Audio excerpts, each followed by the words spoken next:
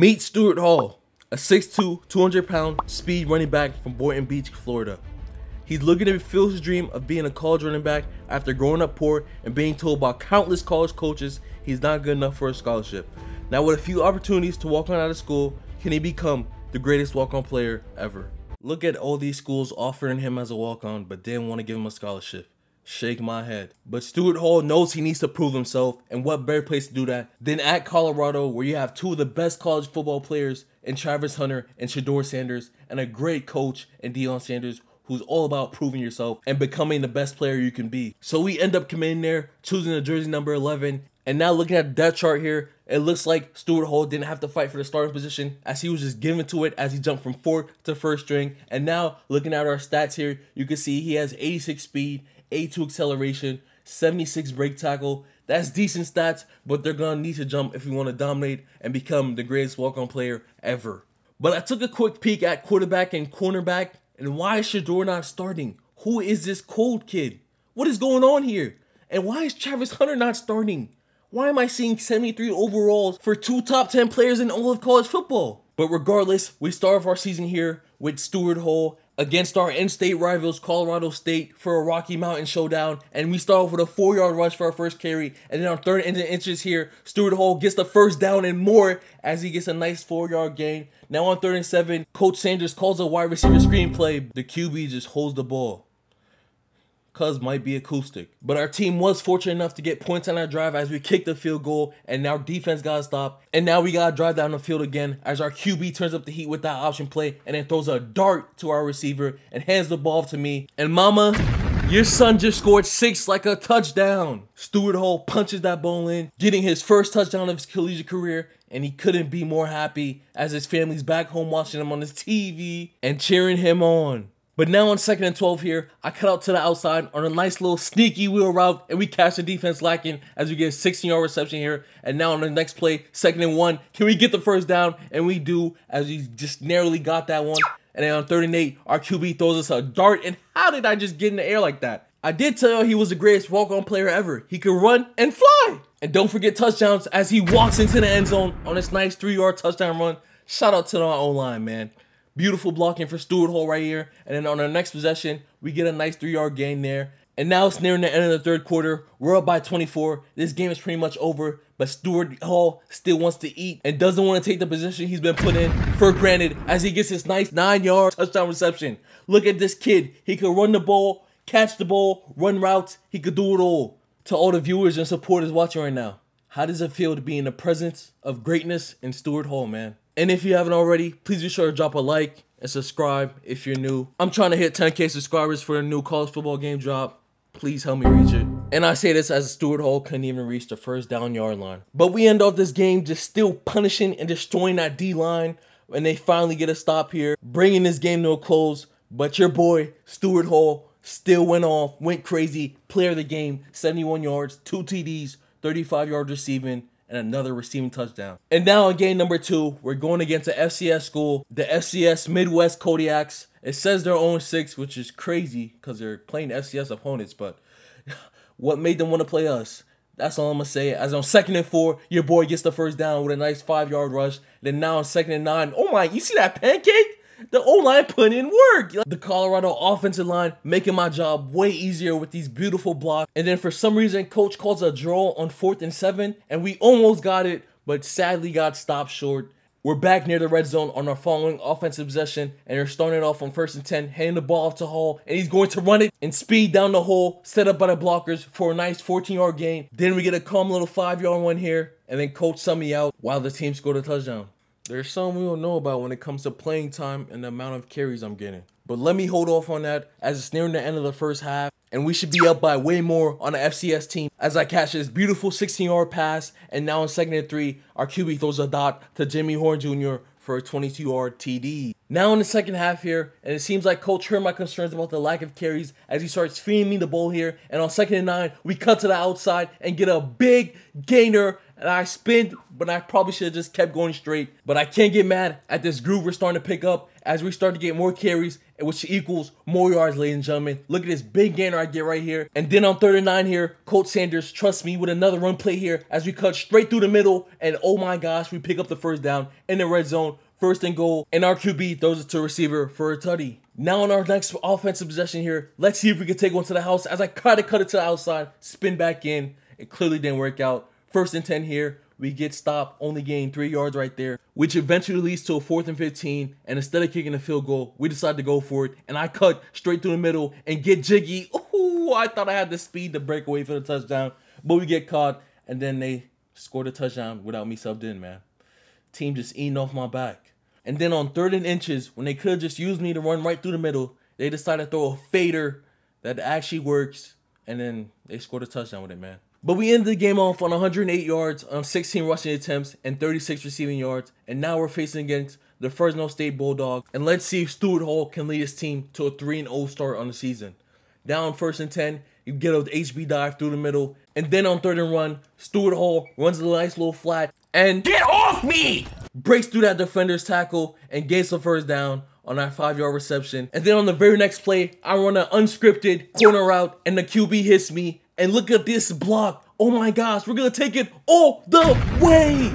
Stewart Hall with a 68 yard touchdown reception. Oh my gosh, his first reception touchdown of the year. And we start this game off strong in our home stadium, 7 zip. And now we're back on offense after our defense got an incredible stop. And we're just bulldozing through the defense as I just keep getting four, five yard carries, which just adds up and adds up and gets us down the field. And now on first and goal, I just run straight through the middle and put up six on that scoreboard, baby. Let's go. Now it's the end of the first half here. We're up four points. Let's see if we can get a last second miracle touchdown. And we get pushed out of bounds. But Stewart Hall, that was a beautiful attempt. I'm telling you, I feel like we're going to get a return touchdown in this video. Just watch and wait because it's going to happen sooner or later. As on third and six, I could have got the ball, but instead my QB wanted to be dumb and throw an interception. But thankfully, the Bulldogs didn't capitalize off our turnover, and we got the ball back in Stewart Hall's hands. Let's see if we can cook up. Second and eight here. Stewart Hall just runs and gets through the middle, gets a nice six yard gain there. And then he starts spamming the circle button after he clutches his flat route pass. And then now on third and six, we're trying to get open, but he hits our teammate for the touchdown, and we're now up 21 and 10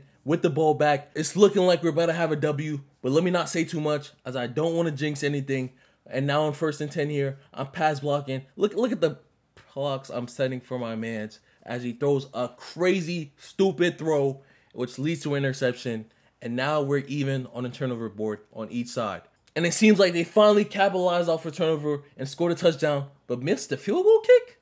But third and 11 here, Hall gets open on the out route and just cups up field and gets that first down. And then on another third and seven here, Hall's gonna get open and QB hits us and we get another first down marker here with under two minutes remaining, second and 14. This game is over. With Stewart Hall getting another player of the game with the 102 yards receiving, a touchdown, and 36 yards rushing.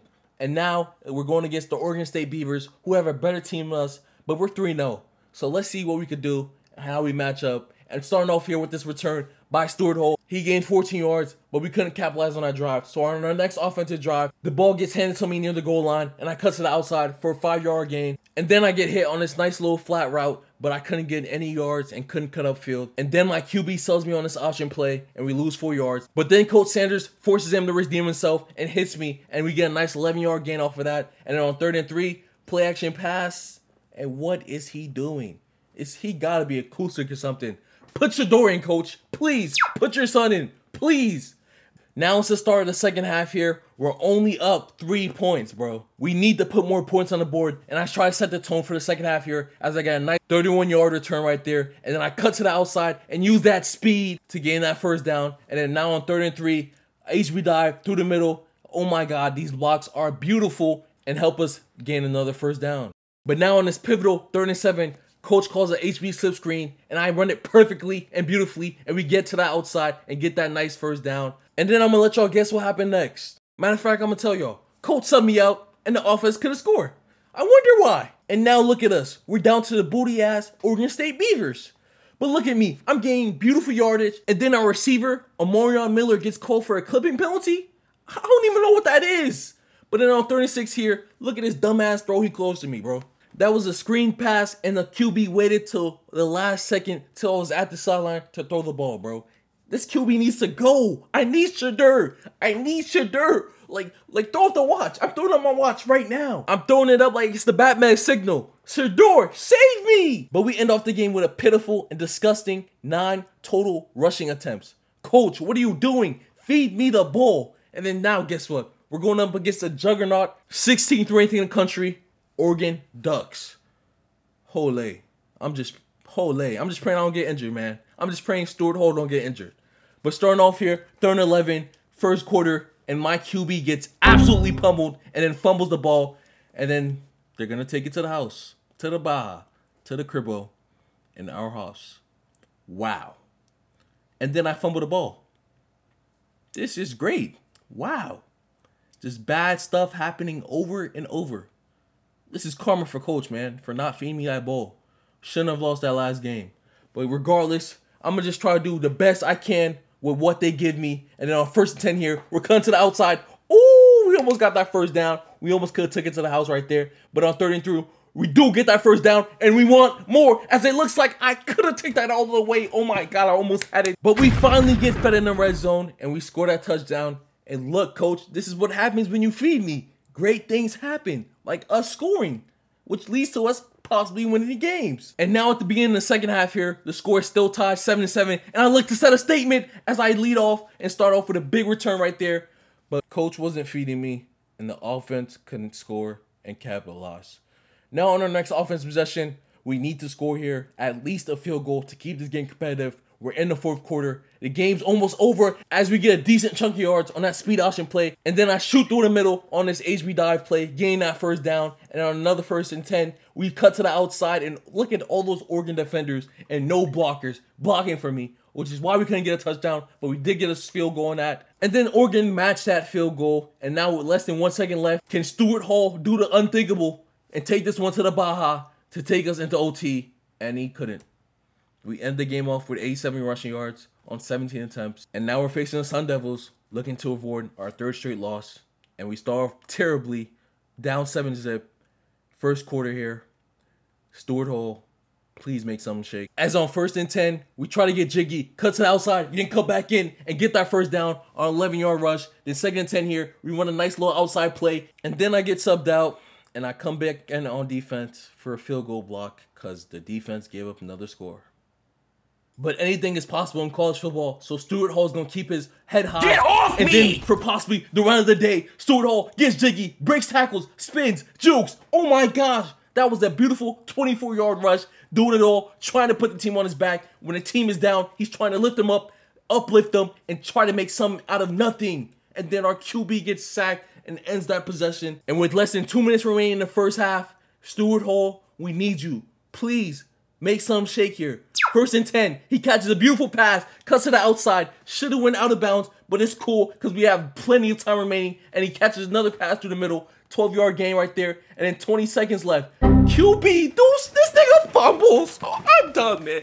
I'm done. No way. That was a disgusting turn of events right there. As we're now down 21 zip. I need to make some shake here. Get a big gain. Possibly score. Wait, wait. No way. That was the putter. Take it to the crib all the way. Keep running, Stewart.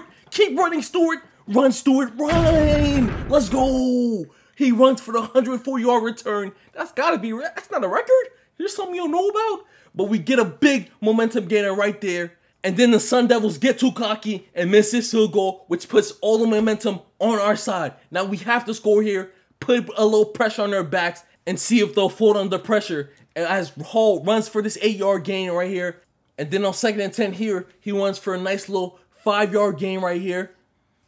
And then now fast forward a few plays later, first and 10, I catch this nice little pass and get us that nice first down gain. And then we run the same play back and get another first down gain off of it. The defense is leaving everything underneath wide open. So I decided to run it back again and we get a nice beautiful gain off of it. And then I get subbed out and we lose the game.